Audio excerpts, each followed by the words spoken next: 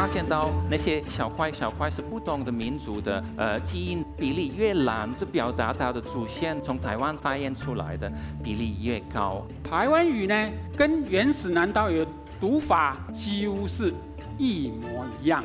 主事焦点读为梗曼，处所焦点读为戛南，工具焦点读为西港。每周五晚上九点，请锁定《展览见识南岛》，泽清邀请你一起看见台湾，认识南岛。